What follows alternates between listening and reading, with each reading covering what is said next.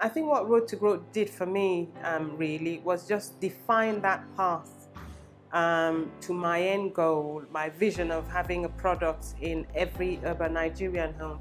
I'm more open now to viewing debt not in a negative light, but as a step or a tool to growth and to scale up my business. That was perhaps the biggest thing that I learned from the program.